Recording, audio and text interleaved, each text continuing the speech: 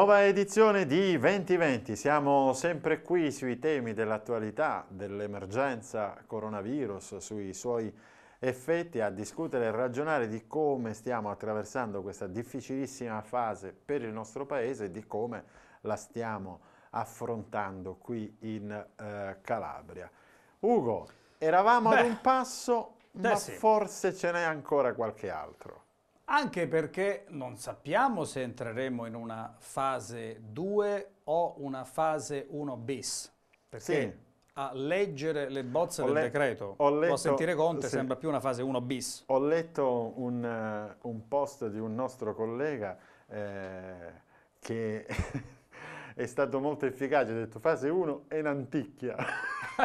un altro... No, ma al di là di questo, eh, diciamo, a parte la, la, la la comunicazione, diciamo un po', un po', schizofrenica, io francamente ho una qualche difficoltà nella misura in cui sì. leggo celebrazioni entusiastiche del Presidente del Consiglio, celebrazioni entusiastiche in relazione alla fiducia che, viene, che viene, riposta in lui, però onestamente eh, è di difficile interpretazione. Tra l'altro questa fantastica attività creativa, eh, il termine congiunti, eh, che, che, si, che, che è larghissimo. Cioè, è, è, è, proprio no? un mare. Si va dall'amante passando per la fidanzata fino alla nonna. Cioè eh, il range eh, entro cui voglio no, dire, trovare i congiunti è larghissimo. Congiunti ecco. in vita, ma anche morti, perché anche quelli sono congiunti. Ma eh, poi c'è, non so se hai, eh, se hai, avuto modo di vedere sui social questo eh, dialogo che ormai come tutte le cose si è trasformato anche in un eh, motivo di efficace ironia eh, perché siccome eh, il decreto consentirebbe questa visita sebbene con tutte le prescrizioni del caso, ai eh, parenti, ma non si fa menzione per esempio di fidanzati o Appunto. fidanzate. Appunto. E eh, insomma questa bellissima ironia per cui dice eh, siamo autorizzati a vedere i parenti che ordinariamente evitavamo da una vita. mentre diciamo le persone mi, scelte... Mi sono permesso so, di scrivere sui social che è stato abolito per decreto il motto parenti serpenti. Serpente, sì. Adesso sono tutti buoni purché servono a farci spostare. eh no, ma ironia, ironia a parte, probabilmente Beh. il Paese si aspettava di più. Vedo questo provvedimento che ieri è stato anticipato nella conferenza stampa di Conte, eh, debolino, probabilmente legittimamente debolino perché prima di aprirsi è chiaro che un governo vuole vederci chiaro, il nostro è un paese che sta continuando a subire più degli altri l'epidemia, però io dico anche una cosa, se si toglie si deve anche un po' dare, insomma non possiamo continuare mm. ad abusare del concetto, il senso di responsabilità degli italiani, anche ieri il nostro corregionale Arcuri, che ha una grandissima responsabilità perché è a capo della task certo. force, di una delle 340 certo. task force che sono state messe in piedi, questa però è la più importante perché ha a che fare con la ricostruzione del paese, diceva eh, confidiamo sul senso di responsabilità degli italiani. Ok, siamo disposti ad andare avanti con il senso di responsabilità, ma quando qualcuno di noi sta poco bene o addirittura s'ammala, non è che il senso di responsabilità, caro Danilo, ci può fornire il tampone mm. o i test, e quello deve certo. essere lo Stato. Ma ti dico, dare e prendere. Io valuto il eh, provvedimento mh, mm, e lo valuto senza mezzi termini come un provvedimento profondamente ipocrita, Beh, sì. eh, poco coraggioso e slegato dalla realtà che vivono i cittadini ogni giorno. Soprattutto slegato dalle diversità territoriali delle regioni e delle macro regioni. È ipocrita perché non si è fatta la scelta più logica e necessaria. Esistono un gran numero di regioni dove l'epidemia, la pandemia è assolutamente sotto controllo, per cui non ha alcun senso non riaprirle completamente. Ma assolutamente. È poco coraggioso perché non ci si assume la responsabilità, perché un, se si fa appello alla responsabilità dei cittadini, eh, l'appello a, a, parole mi sta bene, però dovrebbe essere tradotto in fatti concreti. Allora, se io mi appello alla responsabilità dei cittadini, devo dare le condizioni perché questa responsabilità si manifesti. Certo. Quindi uscite con tutte le prescrizioni del Ma caso. guarda Danilo, guardate ascoltatori, io mi auguro che ci sia una compensazione, siccome il decreto che ieri è stato annunciato, e credo che probabilmente alla fine sarà questo, perché le bozze sì. circolano, ma pur con qualche emendamento no, credo che l'intelaiatura sì. sarà quella scarsina di cui tu parlavi. Mi auguro che ci sia almeno una compensazione con un decreto economico, che anche questo dovrebbe arrivare tra qualche giorno, e magari sancire no, l'iniezione di più robusti finanziamenti, magari quel fondo perduto ad aziende ed imprenditori in crisi, se tu consideri che la ristorazione in buona sostanza, ma anche altre attività come quelle di cura per la persona, prima di giugno non potranno aprire i battenti, se ci arriveranno a giugno dal punto di vista imprenditoriale, capisci bene che c'è bisogno di una bella iniezione di denaro. Speriamo che il prossimo decreto economico almeno possa compensare le mancanze di questo. Allora, guarda, prima di andare ai contenuti di questa nostra edizione di 2020, che saranno anche quest'oggi particolarmente densi, eh, e lo diciamo eh, sin da subito, eh, apriremo con un eh, focus molto puntuale eh, sugli sì. strumenti di sostegno ai lavoratori e su come le carte siano una cosa, la realtà un'altra. Ehm, volevo dirti, ehm, offrirti questa, e anche ai telespettatori, questa mia eh, testimonianza. Stamane mi sono eh, recato eh, in posta e ho assistito a due cose fondamentali. La prima, il senso di responsabilità di cui tu dicevi. Circa 50 persone che attendevano di entrare in ufficio postale, eh, tutti con mascherine e guanti, tutti distanziati, tutti rispettosi della fila. E questo è un segno positivo. La seconda mi sono eh, permesso, occultato dalla mascherina, di eh, ascoltare con molta attenzione i dialoghi tra le persone in fila e ne mh, ho ricavato queste, queste indicazioni. La prima, non ci hanno capito nulla di quello che Conte ha detto. Hanno una completa Tota un completo totale Ma disorientamento. Non per colpa dei cittadini no, no, no, che non comprendono. Esattamente questo. Non, eh, questa è la prima cosa. La seconda c'erano alcuni, eh, alcuni eh, dipendenti in cassa integrazione in fila, c'era il titolare di un eh, ristorante e lamentavano per esempio i due dipendenti che sono riusciti a resistere per due mesi ma non avendo ancora avuto un eh, centesimo erano decisamente passami il termine, erano tanto incazzati Ma perché nelle prossime settimane moltiplica, moltiplica per milioni questo stato d'animo e ti rendi conto come mai come adesso sono davvero importanti iniezioni di, di soldi, ma poi l'iniezione di soldi si tramuta in iniezione di fiducia, per cui bisogna assolutamente darli. Senti, e anche di coraggio, perché coraggio, certo. la, Francia, la Francia riapre, il presidente Macron eh, riapre le scuole l'11 maggio nonostante il parere negativo del comitato medico-scientifico. La Spagna ha fatto questo esperimento eh, della giornata aperta per i bambini. Eh, la Svizzera oggi ha riaperto addirittura parrucchieri, centri estetici. Insomma, voglio dire, alla fine dei conti è una cosa pesante, grave, però un po' di coraggio ci vuole, bisogna assumersi le responsabilità di scelte un po' più chiare, soprattutto tenendo conto del fatto che oggi il grande problema che avevamo all'inizio di questa fase pandemica, cioè eh, lo stress test per, per le strutture sanitarie e per fortuna e grazie a Dio alle nostre spalle i posti di terapia intensiva che nel frattempo sono stati aumentati sono in numero sufficiente. E allora forse un po' più di coraggio eh, si poteva avere, fermo restando che laddove evidentemente si manifestassero dei casi più numericamente consistenti, dei focolai come si usa dire, è chiaro che lì poi eh, la, speranza, la speranza, è che prima del 4 maggio il governo questo coraggio che non si inventa lo, lo, lo trovi soprattutto nelle forze politiche di maggioranza perché tu hai detto bene, basta uscire fuori, basta sentire, annusare, pur avendo la mascherina, l'aria e ti rendi conto che al di là di quelle che sono le preferenze e le sensibilità politiche, eh, questo andamento, l'indirizzo di ieri, non è gradito, possiamo dirlo tranquillamente, dalla maggior parte della, della popolazione perché è poco coraggioso. Mi auguro che queste percezioni arrivino ai rappresentanti istituzionali, al governo e che possa cambiarle in senso positivo, altrimenti poi si crea un cortocircuito perché giustamente l'opposizione di centrodestra, una parte perlomeno, ha già trovato queste criticità, le già sta, le sta già manifestando queste criticità al decreto nuovo Conte.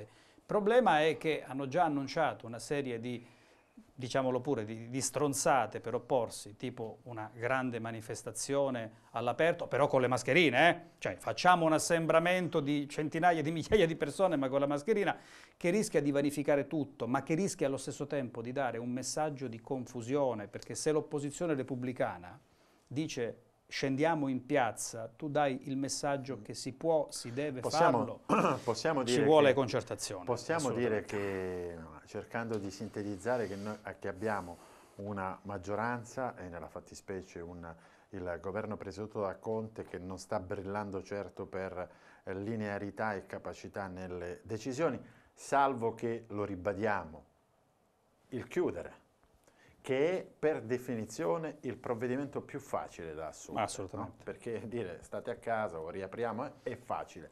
E dall'altro lato abbiamo una opposizione che sta eh, mostrando al pari del governo che non decide l'inadeguatezza nel proporre, nel stimola nello stimolare, insomma nell'essere nell'essere concretamente vicina. E, e poi c'è quest'altro tema, ma ce ne occuperemo con uno degli ospiti e quindi rimandiamo le nostre considerazioni a dopo, c'è questo tema che eh, riguarda i calabresi bloccati, bloccati al nord. Ma, Ma ne, ne, parleremo. Adesso andiamo nella, nella polpa economica, sì, anche arrivato... sociale, perché ci dice che la nostra Chiara Mesoraca in regia, eh, ci dice che il dottor Giuseppe Greco, che torna con noi per la terza volta, anche perché si tratta di un interlocutore eh, eh abbastanza importante proprio per il ruolo che ricorre, che è quello di direttore regionale dell'Inps eh, calabrese, e quindi chi più di lui, intanto grazie dottore per essere con noi, può darci eh, qualche delucidazione e, e, operare insieme a noi anche un bilancio, perché sono trascorse, dottore Greco, ormai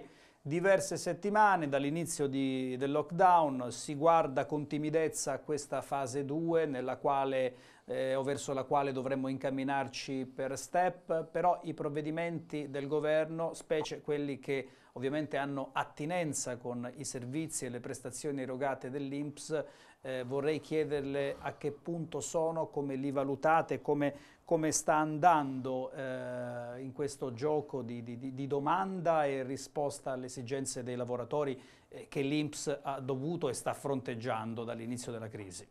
E allora, sicuramente nelle difficoltà che lei stessa ha rappresentato il lockdown riguarda tutti i cittadini del nostro paese, compresi i dipendenti dell'istituto, che quindi stanno continuando ad operare con modalità di lavoro diverse da quelle prestate in sede, quindi con lo smart working. Ehm, noi abbiamo sostanzialmente corrisposto l'indennità da 600 euro a, a tutti coloro che ne hanno fatto richiesta. Nella nostra regione ne abbiamo erogati 144.086. Rimane ancora qualche residuo dovuto al fatto che sono stati indicati degli IBAN eh, che non hanno superato i controlli che eh, noi facciamo in automatico con gli istituti bancari. E, ehm, per questo già da qualche giorno l'istituto ha rilasciato un'applicazione che consente agli stessi richiedenti attraverso stesso, la stessa modalità utilizzata per la presentazione della domanda, eh, ad esempio il PIN e i loro intermediari se hanno utilizzato un intermediario per fare la domanda, di poter andare a correggere il PIN eventualmente errato o non corrispondente al, al richiedente della domanda. C'è qualche altro residuo relativo al fatto che nel compilare la domanda è stata indicata una categoria diversa da quella di appartenenza. Faccio un esempio, un, uh, un commerciante che ad esempio ha spuntato su, su collaboratore coordinato e continuativo ad esempio in quel caso noi stiamo provvedendo alla correzione automatica, interroghiamo i nostri archivi e andiamo nella quasi totalità dei casi a correggere direttamente il dato. Quindi queste domande che eh, residualmente sono rimaste da, da, liquidare, mi riferisco al bonus 600 euro, eh, stiamo sostanzialmente provvedendo a lavorarle, ma ribadisco la quasi totalità dei richiedenti ha già eh, ricevuto il pagamento su, sui conti che ci hanno indicato. Dottor Greco, ok al contributo di 600 euro che era in erogazione, la cui erogazione eh, sta terminando, ma la cassa integrazione ordinaria che è diventata davvero eh, un, un, argomento su cui si sta consumando un dibattito anche aspro nel Paese, con la condizione dell'erogazione dell'indennità da cassa integrazione ordinaria, com'è? Allora, integrazione ordinaria sono pervenute in regione 6.900 domande, eh, quasi tutte già autorizzate dall'Inps. Ricordo che il meccanismo prevede che l'Inps provveda all'autorizzazione a seguito di questa le aziende o i loro intermediari, anche qui, possono inoltrare il cosiddetto modello SR41 sul quale va indicato in questa nuova modalità che eh, tende a rendere un po' più semplice tutto il meccanismo, va indicato il, eh, il, numero di autorizzazione, questo per poterci consentire poi di agganciare in automatico i pagamenti. Dicevo su 6.900 domande presentate in regione, 6.610 sono già state autorizzate dall'Inps e stanno pervenendo i, i modelli SR41. Qua abbiamo una, una, diciamo, un, tempo d'attesa che eh, sicuramente richiederà qualche giorno in più in questo primo pagamento, in questo primo mese di pagamento, ma che ci ritroveremo poi dai mesi successivi sostanzialmente già, già effettuati in termini di controllo, mi riferisco sempre ai controlli su, sull'IBAN dei beneficiari che oh, in questo momento siamo costretti a verificare uno per uno con gli istituti bancari e che dal prossimo mese naturalmente non dovremo, eh, nel caso in cui si tratti degli stessi IBAN, più verificare, quindi andremo più speditamente. Senta, Direttore, l'ultima considerazione, gli ultimi dati che le chiediamo riguardano invece eh, un altro tema, eh, questo sì, eh, anche particolarmente avvertito. Parliamo della cassa integrazione in deroga. Eh, allora, io mi sono segnato alcune cifre, ricordiamolo il percorso. Eh, la cassa integrazione in deroga, la domanda viene indirizzata alla Regione Calabria. Eh, a oggi sono circa 15.000, qualcosina in più, eh, le domande. Solo il eh, primo giorno, il, 6, il lontano 6 eh aprile, eh, ne sono state presentate 8.200 in un giorno. Dunque dai dati disponibili, che ovviamente si discostano, noi stiamo sui grandi numeri, ehm, dopo 21 giorni eh, la Regione Calabria ha esaminato, quindi valutato circa il 30% delle eh, domande dopo 21 giorni. Quindi eh, salvo eh, sconvolgimenti, Ugo, è lecito attendersi che solo per la parte che, rigu che riguarda la Regione e solo per la fase autorizzativa della Regione, poi c'è la parte rimanente che riguarda invece l'INPS, eh, per completare questo eh, percorso andiamo nell'ordine degli 80 giorni, significa eh, due mesi e mezzo abbondanti. Poi naturalmente c'è la trasmissione del modello, la verifica dell'IBAN e i pagamenti. Ecco, in questo caso, dottore, i tempi sono, come dire, decisamente dilatati. Insopportabili. Allora c'è qua un ragionamento da fare. La Regione ne ha autorizzato, come dice lei, eh, circa 4.500 ne ha trasmesse ad oggi in termini di flussi telematici, che poi sono la condizione che a noi serve per poter iniziare ad operare, 3.345. Noi eh, ne abbiamo già autorizzato la massima parte, l'autorizzazione anche qui, ripeto, è la condizione a decorrere alla quale si possono inviare gli SR41 abbiamo al momento pagato circa 8.500 lavoratori di cicli in deroga per una spesa che eh, si attesta sui 14 milioni, sui 39 milioni finanziati allo scopo. Grazie, grazie al grazie, direttore, che, eh, non, grazie anche perché insomma, non si sottrae alle domande e ci fornisce un quadro numerico. Un momento di chiarezza eh, sul fronte delle varie casse integrazioni, che è un fronte abbastanza caldo, quello dal quale milioni, sottolineo milioni di italiani, si attendono risposte concrete per le quali, ai noi, e questo è il dato che eh, abbiamo avuto modo di desumere da quanto ci diceva il dottor Greco, ci vorrà ancora un pochettino di tempo. Eh. Sì, ma guarda, poi eh, ci sono due elementi che in questo caso eh, penso che meritino di essere sottolineati. Cioè il tema della cassa integrazione ordinaria eh, con l'INPS che deve gestire un eh, diciamo, monte di richieste nazionale che è sei volte quello normalmente gestito. È Quindi è evidente che insomma, la, la, la situazione richiede eh, qualche tempo in più. E poi c'è invece l'aspetto legato alla cassa integrazione in deroga sulla quale mi permetto di dirti Ugo andremo incontro a eh, ritardi significativi e vedrai che questo sarà uno degli argomenti di cui ci dovremo occupare nel corso delle prossime Speriamo settimane. non in chiave di ordine pubblico, anche se i segnali da questo punto di vista ci sono, arrivano forti e negarli è criminale. Sai, e c'è un elemento di fondo. Ora noi potremmo sicuramente eh, sviluppare ogni tipo di ragionamento possibile per quanto ancora forse un tantino prematuro sul fatto che la regione abbia, hai sentito, insomma, meno di 4.000 eh, aziende, eh, parliamo di 15.000 domande, insomma... Siamo, Il solo 30% esaminati. Siamo lontanissimi dall'obiettivo e potremmo, dicevo, fare tante considerazioni, però secondo me anche in questo caso la responsabilità è in capo al governo.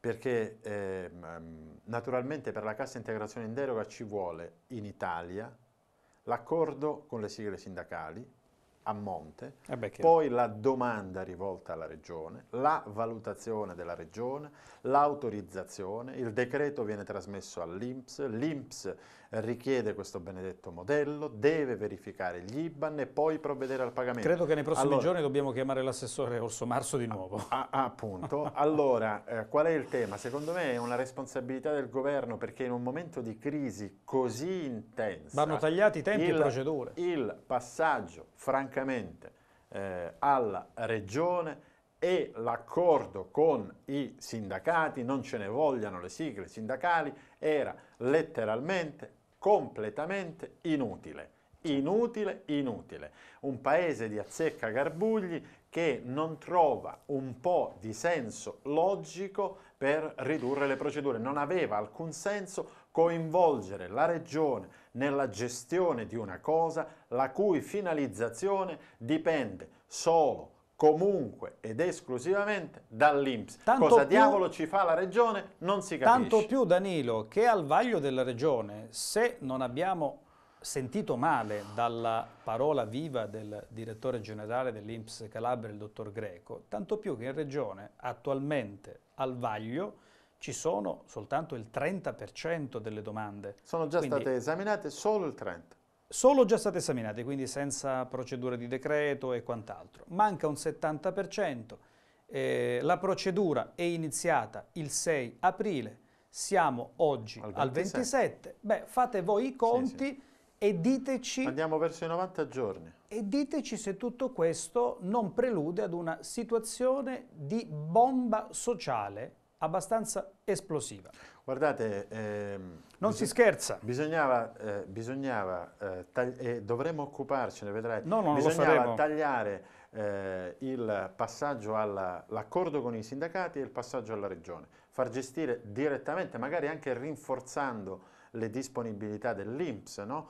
Mm, che ne so, magari i, i dipendenti dell'assessorato regionale al lavoro Bravo, potevano, essere, potevano essere applicati in task force eh, guidati dall'Inps. Insomma, siamo sempre nell'ambito della pubblica cioè, amministrazione, si sarebbe potuto irrobustire una procedura, non farne altre o tenere quelle, alcune delle quali, come giustamente dicevi, sono assolutamente pleonastiche, ma questa è un'attività uh, e una questione che terremo di vista già da mercoledì potremo avere magari no, e poi, novità e, poi, e interlocuzioni e, diverse. E poi c'è un elemento di fondo, no? in, virtù quale, in, virtù di quale, logica eh, si dice ogni due secondi che ripartiamo perché noi facciamo affidamento sulla responsabilità degli italiani, che ringrazio per avervi... Cioè, tutte queste... Tutte queste eh, mm, non lo posso dire quello che penso. Mm, eh, ora, se si fa appello alla responsabilità degli italiani, ma è mai possibile che non si sia potuto immaginare un sistema di controllo ex post, dopo? Intanto gli date i soldi, sì. poi verificate con tutta calma se qualcuno che ne ha fatto richiesta non ne aveva diritto e li deve restituire. Se qualcuno che ne ha fatto richiesta non solo non ne aveva diritto, ma ha fatto il furbo, in quel caso eh, restituisce i soldi e, e va incontro alle conseguenze penali. Ma me ne viene in mente incontro, una, no? Abbiamo, abbiamo, fatto un abuso di autocertificazioni, autodic adesso c'è invece l'autodichiarazione, sì. quindi sarebbe la quinta. Già che c'eravamo potevamo prevedere un sistema di una sola autocertificazione in ambito eh, INPS, poi i vagli si sarebbero fatti ex post e se le cose non fossero coincise con quanto dichiarato dal potenziale beneficiario si sarebbero prese poi, le giuste conseguenze. Ma poi posso dirti una cosa, ma non un, rendere farraginoso c'è un ulteriore elemento che per esempio poteva da questo punto di vista applicare un filtro, un doppio filtro incredibile, no? La domanda... Stai attento che se continuiamo così poi ci danno dei maestrini. Eh? No, no, ci no. dicono volevamo vedere voi al nostro no, posto. Vabbè, ma noi, buon senso, logica. Buon se senso. la domanda, se la partecipazione alla procedura eh, prevede il coinvolgimento di un professionista iscritto all'albo, che può essere un consulente del lavoro, può essere un commercialista, no? ci sono tanti e tali metodi no? per cui semplicemente quella domanda fa fede non solo quello che dice l'imprenditore, che magari nella logica del controllo totale potrebbe anche fare il furbo, Beh, sì. ma è asseverato dalla dichiarazione, dunque dalla prestazione professionale di un professionista iscritto all'albo che assomma la sua responsabilità all'eventuale. E questo potrebbe, potrebbe, bastare tagliare la testa al toro. Ma ci torneremo, adesso eh l'attualità morde, noi dobbiamo andare avanti, sì. caro Monterone, vedo che il tema ti appassiona, ma appassiona sì, soltanto, soltanto sì, pochi milioni di no, italiani guarda, insieme a noi, eh? Eh, soltanto pochi milioni di eh, italiani. So, e sono reduce, volevo, volevo uh, ricordarti, sono reduce dalla fila imposta che è forse la fonte di informazione più importante ho, della giornata. Avendo, avendo, ascoltato quei due lavoratori dipendenti che no Mm, erano non veramente per, non per, fare il non per fare il demagogo, ma io credo che fare le file in posta come quella che hai fatto tu e quella che mi è capitata di fare oggi al supermarket e quindi origliare le conversazioni, siano in questo momento di il grande polso, confusione generale il polso più attendibile, le fonti informative più, più giuste, più veraci. Preghiamo un po', preghiamo un po'. Perché, Beh, preghiamo un po', eh, ne abbiamo siamo, bisogno, abbiamo bisogno siamo. anche di una bella benedizione. Torna a trovarci eh, Monsignor Francesco eh, Savino, ehm, un grande vescovo, lo diciamo senza nessuna piaggeria, ma chi ne conosce l'operato può sicuramente concordare. E, è importante la presenza, sia pur telefonica, di Monsignor Savino, che salutiamo. Eh, Monsignore, beh, ormai si va verso il nuovo DPCM che ieri il Presidente eh, del Consiglio nella sua ennesima conferenza stampa ha eh, illustrato, mm, non senza polemiche che ne sono seguite. E tra le varie decisioni e tra le varie eh, regole eh, ce ne sono alcune che hanno suscitato una durissima presa di posizione della conferenza episcopale italiana, della, della CEI. È, è, vero che si potranno celebrare in forma ridottissima i funerali con 15 eh, persone, ma è anche vero, Monsignor Savino, che resta il divieto della celebrazione delle messe in sostanza e, e, e questo vi ha un po' diciamo, suscitato indignazione, tant'è che c'è, ripeto, un comunicato davvero molto forte. Qual è il suo parere, Monsignor Savino? Eh, faccio innanzitutto una premessa di carattere, come dire, eh, di chiarificazione. Mi rendo conto, mi rendo conto della complessità e della complicazione del momento che stiamo vivendo. Mi rendo conto che questo virus ha destabilizzato tutto e tutti. Eh, un filosofo che io seguo molto, Petrosino, parla dello scandalo della imprevedibilità. Ecco, veramente eravamo tutti impreparati, noi che pensavamo di esprimere in questo scampolo del terzo millennio la cultura del controllo e della previsione di tutto e di tutti.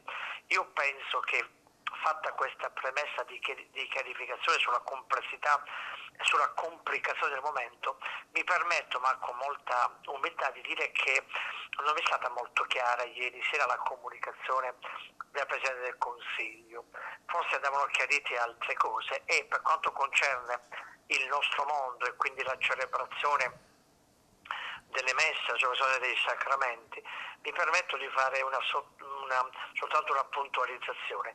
Eh, mi risulta che c'è stata una costante interlocuzione tra la conferenza episcopale italiana, presidenza e, e segreteria con il governo e da questa interlocuzione ci aspettavamo uh, tutti no?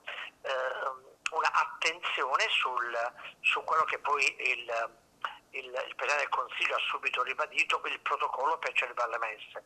Ma al di là del protocollo e garantendo a tutti no, eh, il diritto alla salute che mi sembra prioritario, io penso che noi le chiese non, non le abbiamo mai chiuse, questo bisogna anche fare quest'ultima puntualizzazione, questa ulteriore puntualizzazione, soltanto che abbiamo celebrato eh, i sacramenti, in questo caso abbiamo celebrato l'Eucarestia senza il concorso del popolo di Dio, senza la presenza fisica dei fedeli.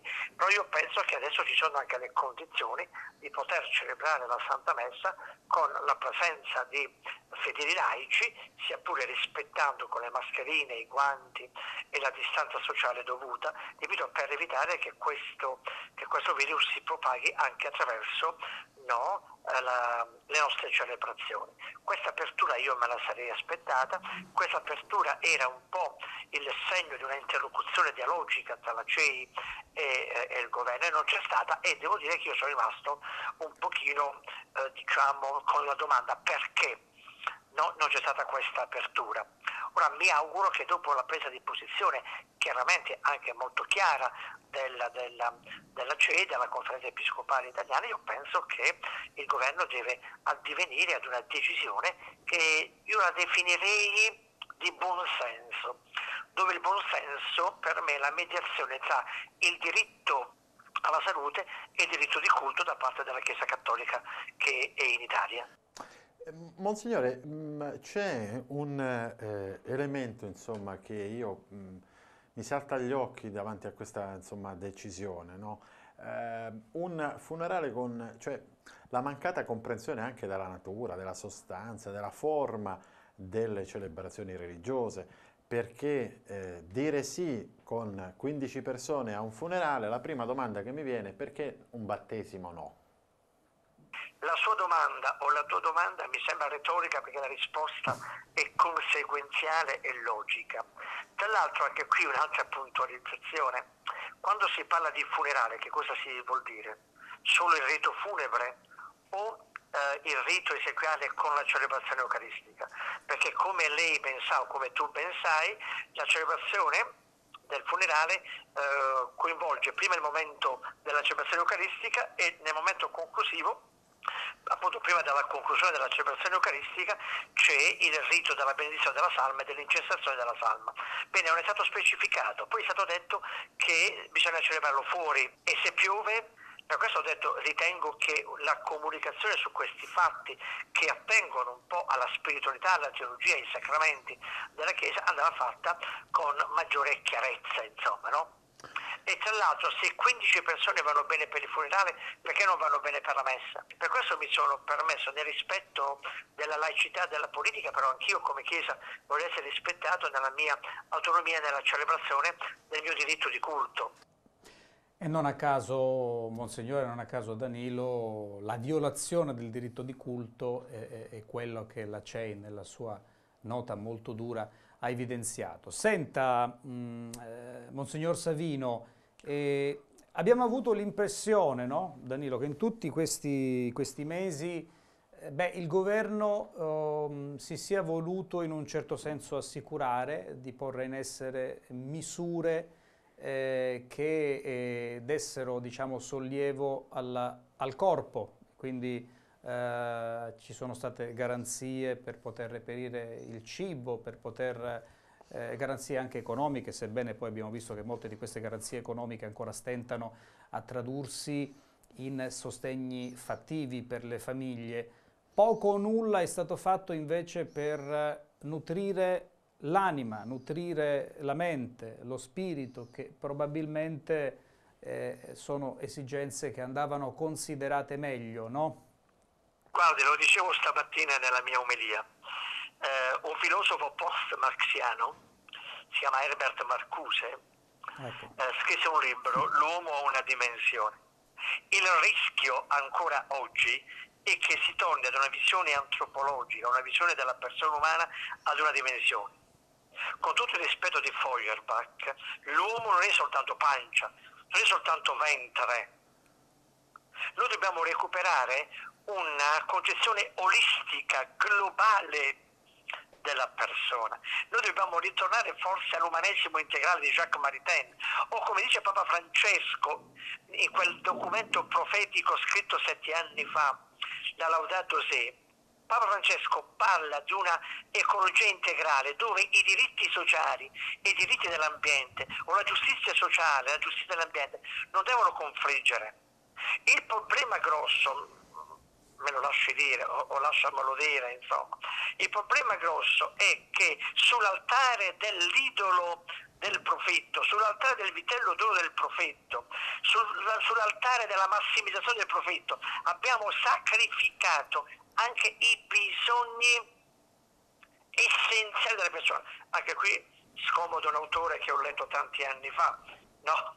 eh, la teoria di Agnes Heller sulla teoria dei bisogni Ecco, quali sono i bisogni e che rapporto c'è fra bisogni necessari e bisogni superflui? Allora mi permetto di dire, c'è un bisogno nella mia vita che si chiama bisogno del, del, dell'alterità assoluta, bisogno spirituale. Io in questo bisogno voglio essere rispettato. Siamo attenti a non, a non far passare l'idea che sono dei beni necessari rispetto ai quali dobbiamo sempre comunque organizzare risposte e il bene spirituale per me, neanche, per me è anche necessario. Io voglio essere garantito nel mio bene, nel mio bene spirituale. Guardi, chiudo con una battuta direi un pochino quasi feroce. Il problema della, della cultura contemporanea è che al, al desiderio abbiamo sostituito il godimento egoistico, narcisistico, autoreferenziale, spesso a discapito dell'altro. Io sono invece per un desiderio no? che deve accomunare non le persone e quando parlo di desiderio, desiderio ha in sé la parola desidus stella, dico che dobbiamo farci orientare da certe stelle. Per me una stella fondamentale della mia vita è Dio e il mio bisogno spirituale non voglio che mi venga alienato da nessuno. Parole chiarissime parole, eh? chapeau come si dice. E, eh, Feuerbach e Marchiuso, insomma. certo, certo, eh, Feuerbach. Allora, eh, un'ultima, un'ultima, considerazione. Ah, ancora hai da dire? Sì, sì, un'ultimissima considerazione perché eh, Monsignor Savino fa parte della commissione, della conferenza episcopale italiana che si occupa dei temi della sanità ed è peraltro il delegato della conferenza episcopale calabra proprio eh, per quanto riguarda la materia sanitaria. Eh, questa, questa, pandemia eh, ci lascia in eredità, lo abbiamo detto molte volte noi qui in trasmissione, ci lascia in eredità una grande e centrale considerazione, che cioè il sistema sanitario pubblico è decisivo, essenziale, ineliminabile, insostituibile. Allora il concetto di aziendalizzazione to cure applicato alla gestione sanitaria ha generato i danni che stanno sotto gli occhi di tutti. Faccio un esempio su tutti. Noi dobbiamo riconoscere che la Lombardia, l'Emilia Romagna, il Veneto hanno un buon modello di sanità, però attenzione, era un modello eccessivamente um, ospedaliero, c'è stata una sorta di ospedalizzazione della sanità a discapito della medicina territoriale. E anche questo deve farci pensare molto, voglio dire, insomma. Cioè va qui ripensato no, a tutto il sistema sanitario dove la centralità è l'ammalato e i suoi bisogni e la sua famiglia. Per cui dobbiamo partire dalla centralità dei bisogni dell'ammalato e organizzare. E quando apriamo al privato, No? Dobbiamo anche cercare di capire con quali criteri apriamo al privato e quale rapporto fra no, uh, sanità pubblica e sanità privata. Anche qui mi lasci dire una cosa che non voglio sembrare poi polemico, ma vogliamo smetterla con la risposta, eh, risposta organica a certe lobby rispetto alla sanità privata? Ripeto, anch'io posso essere d'accordo meno Stato più società, ma quando la società si organizza vogliamo cercare di fissare dei criteri anche no, di giustizia sanitaria? Perché molto spesso la sanità privata è concetata nelle mani di pochi? Pongo una domanda, eh? Eh. Grazie. Magari, allora noi, magari eh, potessimo eh, rispondere. No, noi lasciamo proprio su questa domanda, Monsignor Savino, perché... Eh, Però una risposta ci sarà. To- torneremo ad averlo presto. Te la posso fare perché... un'osservazione sì. politica sulla scia di quello che diceva eh, Monsignor Savino? Io non mi sono limitato a leggere il uh, comunicato stampa della CEI duro, una, una, una vera e propria... Inusuale e duro, sì. Fustigata, no? Nei confronti del, del, del, del, una scudisciata nei confronti del governo. Ho visto un po' anche l'avvenire sì. e anche qualche commento, si potrebbe dire, d'area. Ora, Danilo, tu mi insegni che la CEI, tanto in passato quanto nel presente, probabilmente anche nel, nel futuro, i governi li fa e li disfa.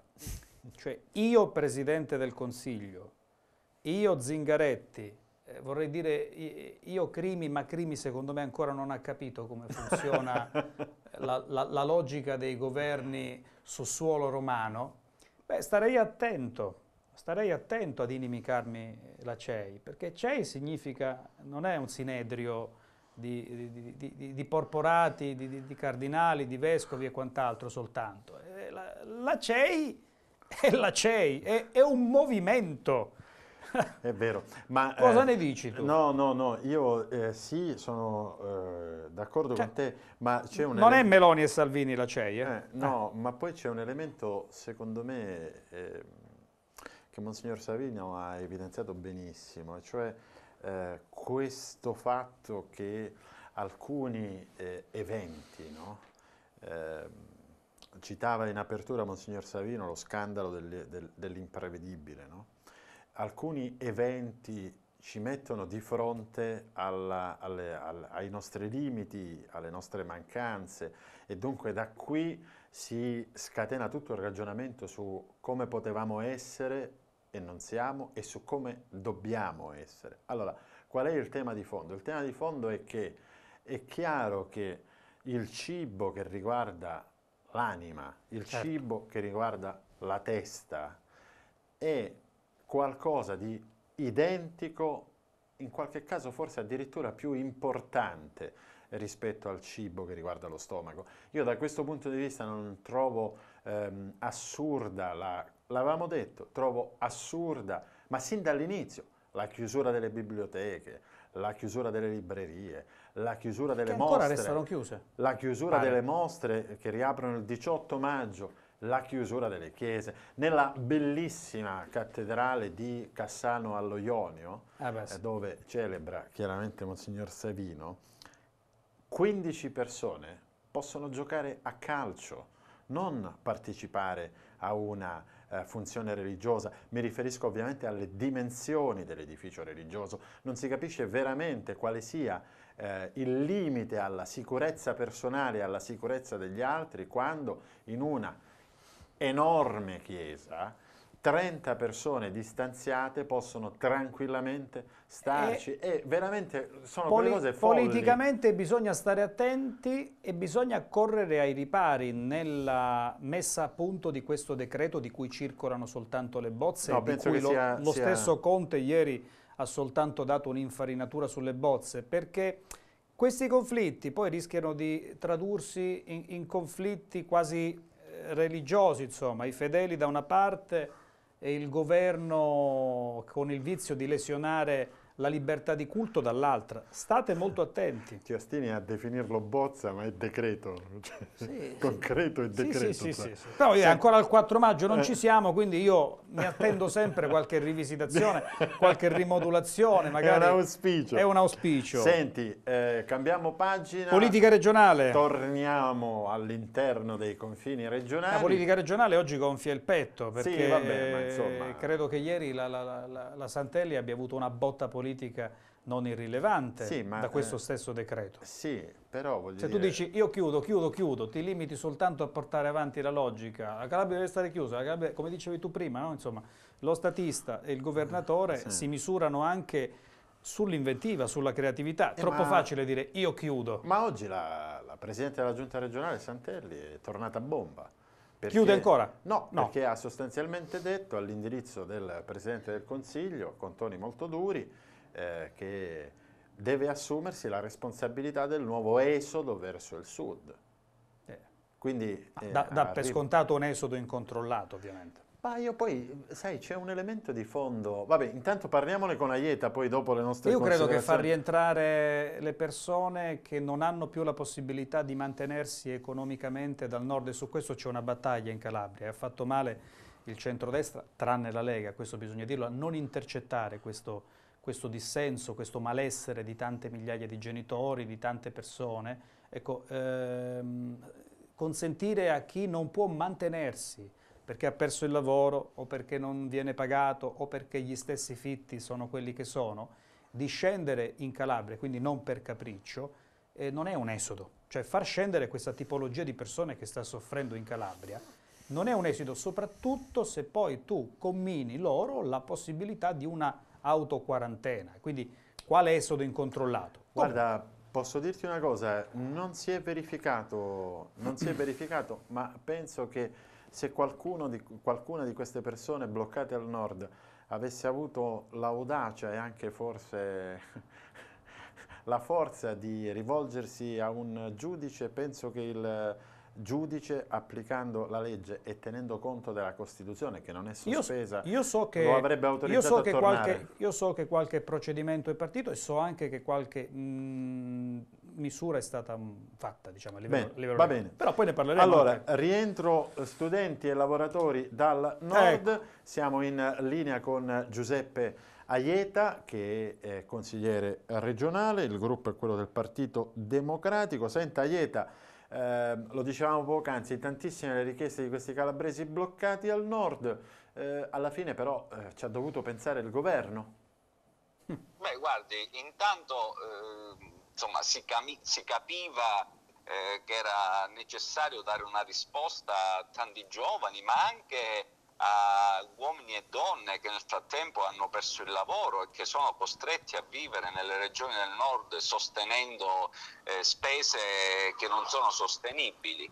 Eh, questo grido d'allarme, insomma, la, la, politica non lo ha saputo interpretare e, e ovviamente ha lasciato eh, queste, questi corregionali eh, sol perché corretti eh, rispetto alle norme li ha lasciati eh, quasi sull'orlo di una crisi di nervi, perché qui non c'è solo un problema eh, come dire, economico, c'è anche un problema che ha un risvolto psicologico. Io ho parlato molto in questi giorni con studenti, eh, ex lavoratori, insomma era drammatica la loro, la loro condizione. Ecco, una regione che non fosse matrigna si sarebbe dovuta occupare di queste persone. Non lo ha fatto e ci ha pensato il governo a farlo, ma perché era giusto, ragionevole farlo, perché eh, in questa fase bisogna eh, sostenere le persone, la loro dimensione umana, e farlo gestendo anche, noi avevamo proposto, io personalmente con una mozione, come gestire questo rientro, gestirlo in totale sicurezza, perché nessuno vuole decuplicare i contagi. Eh, sicuramente la gestione di queste persone sarebbe stata migliore della gestione dell'RSA, per esempio. Eh, per cui insomma noi abbiamo continuato a chiedere eh, il rientro di questi calabresi eh, ed oggi, eh, dopo la conferenza stampa del Presidente Conte, eh, abbiamo salutato con liberazione. Ecco. Questo sì è un atto di buonsenso. Lei diceva di aver parlato con molte di queste persone che si trovano a disagio al nord proprio perché non sanno come mantenersi. Anche noi in redazione abbiamo un filo diretto costante con padri e madri cassi integrati che non possono più mandare l'affitto per bonifico o vaglia postale ai propri figli e quindi eh, questi figli devono in qualche modo eh, ritornare. E allora se questi sono i casi e sono casi che si possono moltiplicare per migliaia a Ieta, io voglio tornare sempre là, che cosa c'è stato che ha frenato il rientro ordinato di queste persone? indifferenza, sottovalutazione del fenomeno, menefreghismo politico da parte della maggioranza e della stessa Presidente Santelli. Che cosa è successo? Guardi, io eh, sono sempre abituato a farmi carico delle ragioni degli altri e quando si governa bisogna anche immedesimarsi. Io insomma, ho governato una vita, eh, però eh, se, si, se, si, utilizza la sagacia ecco, e la ragionevolezza, si arriva alla soluzione. Io credo che ci sia, non, non ci può essere eh, altro dire, argomento se non la paura di un, di, della diffusione di un contagio, ma la paura si combatte, si combatte con strumenti che ci mette a disposizione la ragione. Ecco, eh, questo è mancato. Senta Ieta, l'ultima considerazione. Ehm, abbiamo qualche volta sentito commenti quasi sull'onda di un eh, entusiasmo per cui la Calabria ha retto, la, la, la, la, pandemia, insomma il virus qui non ha sfondato, l'onda d'urto è stata gestita. Ora, la domanda, è così o come per esempio la volta scorsa eh, la nostra collega Antonella Grippo ha fatto riferimento al fattore K, cioè una buona dose, una buona dose, una grande dose di fortuna. Dove sta, dove sta il merito? Guardi, io ho sempre pensato che un'emergenza eh, ipotizzabile eh, in Calabria, eh, insomma, non saremmo stati in grado di gestirla, un po' per la sanità, un po' per, diciamoci la verità, l'ho detto, lo ripeto, io, insomma, eh, dalle persone che la gestivano quell'emergenza, che, sono, eh, che già in condizioni ordinarie tengono il freno, a mano, freno a mano alzato. Immaginiamoci nell'emergenza quando bisogna passare col rosso cosa sarebbe accaduto e lo avevo detto anche alla governatrice Santelli, alla quale io onestamente eh, devo riconoscere l'impegno, ma l'impegno deve anche sostanziarsi nella scelta di eh, strumenti, persone, eh, insomma ehm, le task force eh, che sono pletoriche, eh, pleonastiche, in questi casi non servono, servono persone che si sporcano le mani, servono persone che hanno bene in mente come agire nell'emergenza, tant'è che proprio nell'emergenza chi era a capo della protezione civile a un certo punto si è dimesso. Ecco, quello è un segnale, eh, come dire, chiaro. L'emergenza va gestita da chi le emergenze le conosce. E quindi da questo punto di vista siamo stati fortunati, diciamoci la verità, siamo stati fortunati perché il buon Dio ha voluto che in Calabria al momento non ci fosse una eh, dilatazione del, del contagio. Eh, ovviamente avremmo dovuto nel frattempo gestire, ecco, vede, la sanità, eh, creare nuovi posti letto, delle terapie intensive e invece abbiamo creato ospedali promiscui ospedali dove esistono reparti Covid nel cuore e nella pancia di ospedali dove eh, come dire, esistono reparti no Covid. Questo è sbagliato, lo abbiamo detto, abbiamo indicato più volte l'idea di creare ospedali esclusivamente Covid, come le linee guida del Ministero della Salute suggeriscono, e questo non è successo. A Cetraro, le, dico, le faccio un esempio, nel cuore della cittadella ospedaliera esiste un reparto, la pneumologia Covid, attorno alla, alla, al quale esistono reparti no Covid e lì insomma è chiaro che si, ci si espone. Ha certo. ragione. Ha ragione, grazie, grazie Aieta. Ha ragione, ma poi Danilo, una fase 2 senza l'indicazione vera, decisa, determinata di una struttura Covid. Una fase 2 che non ci dica nulla in merito alla calendarizzazione di giorni ed orari di lavoro per coloro i quali devono riprendere gradualmente le attività lavorative. Una fase 2 che nulla ci dice sulla politica che si intenda o meno adottare sui tamponi. Una fase 2 che nulla ci dice sul reperimento delle mascherine, salvo sapere che costeranno soltanto 50 centesimi. Grazie, eh, però vorremmo trovarle. Cioè, che fase 2 è? E poi un governo regionale che non arriva a toccare, no? che non arriva a toccare una cosa di una semplicità e allo stesso tempo di una drammaticità forte, come il bisogno di corregionali che non possono stare più in Lombardia, in Veneto, in Emilia. E io voglio essere anche pedante su questa cosa, per farli rientrare. Non li vogliamo far rientrare? Allora troviamo anche dei piani di sostegno economico perché possano mantenersi laddove non possono farlo più, per tantissime ragioni. Di che stiamo parlando? È un, eh, come, come, come si dice, un cahier de doléances quello che, che, hai, che hai, dato, eh, ma dico Ugo, e poi veramente andiamo perché abbiamo già l'altro ospite in linea, eh, ma di cosa stiamo parlando? Eh. Abbiamo sentito Aieta che eh, giustamente sottolineava la, la, la, necessità di dar vita agli ospedali Covid, a non, fare, a non consentire questa promiscuità no, di reparti che si occupano del Covid all'interno, no, nella pancia, ha detto Aieta, di ospedali dove c'è tutto il resto. Ma se stiamo raccontando, sono passati, sai che cosa sono questi? Sette giorni.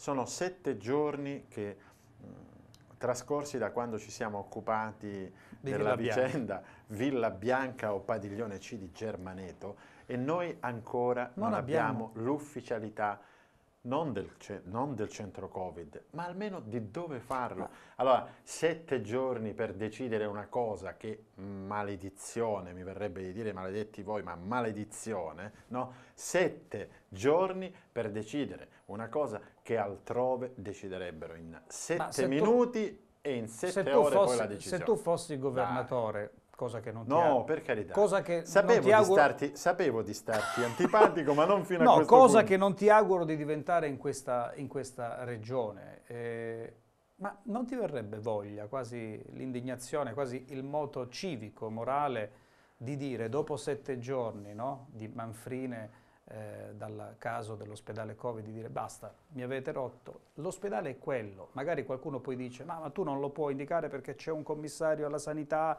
ci sono altri piccoli commissarietti, me ne frega, l'ospedale Covid è quello, certo. è Villa Bianca, lo eh, certo. adeguiamo certo. subito eh, pensate che io eh, invada le vostre competenze, cari commissari, cari burocrati che nulla risolvete? Mm, fatemi causa. Intanto l'ospedale Covid è quello, è, è Villa Bianca, ce l'abbiamo già. Pochi sono i lavori di adeguamento che servono per poterlo fare funzionare. Io lo farei, ah, io lo farei. Ma chi mi mette in galera per una cosa del genere? Nessuno. Eh allora, eh, abbiamo in linea l'ultimo ospite per questa edizione di 2020 che possiamo definire una edizione indignata. Sì, eh? anche di sostanza perché abbiamo avuto Però ospiti... indignata, sì, ci, sì, sì, non ci siamo andati leggeri. No, no, no, no. Però abbiamo, perché un altro degli aspetti che è giusto approfondire è quello relativo all'amministrazione della giustizia. Beh sì. Perché nel lockdown eh, rientra anche l'amministrazione della giustizia. Abbiamo in linea il Presidente dell'Ordine degli Avvocati di Catanzaro, Antonello Tallerico, e... Ehm, Ora, abbiamo sentito di questa benedetta fase 2 che eh, molto slow, cioè, no? molto lenta, con una riapertura a tappe, eh, per cause tribunali, per, insomma, per l'operatività della giustizia la situazione invece com'è? Allora, innanzitutto voglio dire che per quanto attiene all'attività giudiziaria, quello che continua a disciplinare naturalmente le regole e anche le singole fasi rimane il decreto legge numero 18 del 2020 convertito in legge, nonché i protocolli che sono poi il frutto combinato della collaborazione tra magistratura e avvocatura e adottato da, poi dai singoli capi degli uffici giudiziari che delineano quali saranno le attività che potranno già ripartire dal 4 maggio. Quindi sotto questo aspetto è già tutto abbastanza chiaro. Il problema è che a livello nazionale purtroppo si sono adottati protocolli diversi, quindi abbiamo creato sostanzialmente una disciplina in ogni singolo distretto o in ogni singolo circondario di tribunale. È ovvio naturalmente che qua l'accento ricade sempre sulla capacità anche di negoziazione dei singoli consigli dell'ordine, perché si prevedeva nel decreto numero 18 del 2020 che i singoli capi dell'ufficio si confrontavano, ascoltati i consigli dell'ordine avrebbero adottato i protocolli. Quindi possiamo dire in generale che dal 4 maggio non parte tutta l'attività giudiziaria, vengono trattati alcuni processi e qua va fatto anche il distinguo. Nel processo penale la regola rimane sempre la partecipazione in udienza e non il collegamento da remoto che avviene su richiesta del difensore. Ma diciamo che dinanzi al Tribunale i processi che verranno trattati saranno quelli che hanno diciamo, imputati detenuti, non vengono trattati tutti i giudizi. E così ad esempio i, i, i giudizi, i processi di competenza del Tribunale monocratico verranno tutti rinviati a dopo l'estate, nel mentre tratteremo quei processi che sono un pochettino più delicati, dove per l'appunto gli imputati sono detenuti. Nel processo civile invece, secondo me, si apre un bel percorso rispetto al processo cosiddetto cartolare. Non si va in udienza, non, non si fa il collegamento da remoto per alcuni specifici giudizi che hanno ad oggetto attività naturalmente che non implicano la necessità di ascoltare testimoni o di fare discussione, ma che sono delle attività che solitamente si limitano a formulare al giudice delle richieste già eh, evidenziate nei propri scritti, tipo per precisare le conclusioni o per richiedere la concessione dei termini per il deposito delle memorie. È ovvio che tutti questi criteri, tra cui quello sempre nel civile dell'urgenza, quindi provvedimenti, procedimenti cautelari o quelli che comunque hanno ad oggetto la tutela della salute o particolari situazioni familiari come separazione e divorzi, verranno anch'essi trattati. Però ribadiamo, la regola è quella del processo cartolare, per scambio di note, oppure presenza fisica, l'eccezione, e infine il collegamento in remoto laddove dovrebbe essere operativo. Posso dire che a livello nazionale e in generale il processo da remoto non è stato ben accolto né da parte della magistratura né da parte di una parte dell'avvocatura. A parte le legittime considerazioni che sono state fatte da parte dell'Unione delle Camere Penali sul fatto che non possiamo desmaterializzare il processo, ritengo che su alcune attività il processo da remoto sarebbe stato comodo per tutti. Molte volte siamo stati in corte d'appello 3-4 ore per poi arrivare davanti al giudice e dire mi riporto a quanto già ho precisato e rassegnato nei miei scritti. Oggi questo lo possiamo fare semplicemente con un'istanza che viene una nota che viene depositata telematicamente in tre minuti. Quindi diciamo che in parte rispetto a quelle attività che possono essere tranquillamente sostituite da un collegamento da remoto, in realtà l'ostilità da parte di una, di, di una parte della magistratura e di una parte dell'avvocatura nasce più che altro sempre il solito problema che è quello di doversi necessariamente adeguare a un qualcosa che rappresenta la novità. Presidente, nella speranza poi che queste diversità vengano superate, insomma, no? C'è l'esempio bellissimo della didattica a distanza, che pur tra tanti problemi sta andando bene, è un servizio comunque dello Stato, così come, come, la giustizia, tutto è migliorabile. E noi comunque, Presidente Talarico, viaggiamo verso ormai gli oltre due mesi di blocco e questo al di là della modalità peserà non poco sulle, sulle cause civili che già rappresentavano ante Covid un eh, momento diciamo, di intasamento, di grippaggio della, della macchina giudiziaria o no? Allora, la premessa è noi non recupereremo mai il tempo perso e anzi questo tempo perso è servito a poco perché le posso dire che i tribunali hanno lavorato semplicemente con, il, con i cosiddetti presidi Cosa vuol dire lavorare con i presidi? Vuol dire che il 90% e più dei dipendenti, degli impiegati, dei cancellieri sono rimasti a casa, chi per congedo, chi per malattia, chi per prevenzione, chi per eh, ferie e t'altro. Quindi questo cosa vuol dire? Se non ci sono i cancellieri è molto difficile caricare a sistema i provvedimenti, è molto difficile scaricare le istanze degli avvocati e via dicendo. Qual è la prospettiva? Io le voglio dire semplicemente una cosa, noi abbiamo un processo come quello del lavoro che dovrebbe terminare nel giro di pochissimo tempo, no? solitamente la media una volta era un anno, un anno e mezzo.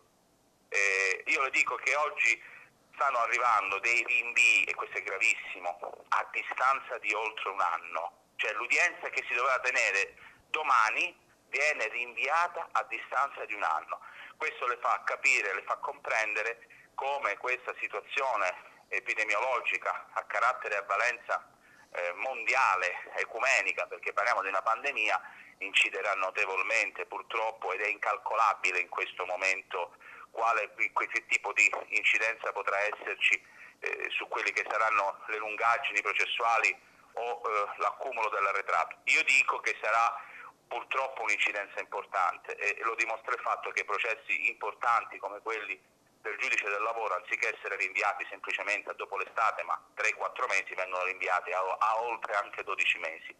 Questo lascia intendere Davvero molto grave. Insieme. Poi ci sono i processi penali, Là devo dire che i rinvii sono un pochettino più contenuti eh, nel tempo, specie quelli naturalmente dove trattasi di processi anche abbastanza delicati. Il problema è che c'è molta confusione, c'è una carenza di coordinamento e come abbiamo visto in questi giorni vengono scarcerati dei boss, tra virgolette, sulla scorta di una documentazione sanitaria, appunto interrogativo, nel mentre non si scarcerano per le medesime ragioni altre posizioni che invece avrebbero probabilmente meritato un accesso anche alla detenzione domiciliare e questo non avviene spesso perché non abbiamo neanche i braccialetti. Abbiamo fatto entrare in vigore una norma che poi non ha trovato applicazione perché numericamente non li abbiamo. Si necessita di un grande e importante intervento di riforma, ma non sono le riforme che propone l'attuale Ministro, perché magari sarebbe il caso di sentire chi in tribunale ci va. Grazie. Gra grazie al Presidente. Ma volevamo fare noi questa chiosa, sì, ce l'ha rubata il Presidente. L'ha detta lui. La, no, sarebbe stato anche, purtroppo siamo L'ha detta in fine. buona fede. Buona questa. E mi sarebbe piaciuto parlare con Antonello Talarico, che peraltro insomma, un collega, un amico anche della, della prescrizione ai tempi di Covid. Eh. Eh, anche la prescrizione mieterà un po' di, eh sì. di vittime di giustizia. Io direi così. Va eh, bene. Bene, insomma. Compare siamo, Monteleone, siamo, siamo, giunti alla fine. abbiamo detto tanto oggi. Eh, oggi beh, insomma, poi dopo la chiosa di Talerico. sì, sì. No, sono sei soddisfatto? Sono soddisfatto perché abbiamo fornito un po' di... Ma mercoledì lo saremo ancora di più perché... Un po' di considerazioni. Eh, Gli interlocutori di oggi, soprattutto sul fronte cassa integrazione, sul fronte di provvedimenti regionali, ci hanno dato la spinta a ricercare risposte già per mercoledì, perché ci sono dei problemi aperti che rischiano di diventare delle vere e proprie voragini sociali. Sono ancora delle ferite ma rischiano di diventare delle voragini. Su cassa integrazione, sia ordinaria che in deroga, non si scherza. Sai, è l'ultima cosa che dico, poi chiudiamo veramente che siamo andati lunghi. Quello che eh, indigna eh, è questo atteggiamento di, eh, diffuso, generale, eh, che riguarda tanto le classi dirigenti e politiche locali quanto quelle nazionali, questo diffuso atteggiamento di autoreferenzialità, no? oppure di sovrana responsabilità ostentata che però cozza drammaticamente poi con la realtà. Ormai, eh, e lo dico, ovviamente mi rendo conto che noi non abbiamo, cioè abbiamo una funzione, quella giornalistica che va gestita eh, nelle cose che si dicono, anche come un grano salis, però, però, onestamente eh, ascoltare toni eh, secchi no? sul stanziamento di questo, stanziamento di quello, la cassa integrazione, vicini a chi ha bisogno e poi scoprire che di fatto noi ancora abbiamo, perché così è ragazzi, svegliatevi, perché fino ad ora abbiamo prodotto solo un grande, grandissimo castello di carte, perché eh sì. poi alla fine eh, non è arrivato assolutamente nulla, fatta eccezione per, per i 600 i 600 euro l'una tantum, che è appunto episodico. È arrivato l'episodico, ma non... No, ma perché poi no? il vaglio sui richiedenti 600 euro non doveva essere fatto dagli uffici regionali, altrimenti 600 euro sarebbero ancora nelle dritto, casse dello Stato. È andato dritto lì. Perché sono allora, andati dritti allo Stato, cioè, all'Inps. La, la produzione di questo castello di carte e di questo mare di parole è un mare di parole che bagna un castello di carte. Fiumi di parole, come direbbero i, i Jalis, che salutiamo. A mercoledì. A mercoledì.